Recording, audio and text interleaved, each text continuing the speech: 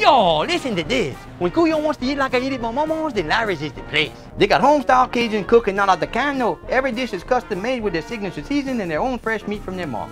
Larry's, a true Cajun tradition. Whew, I got your frisson.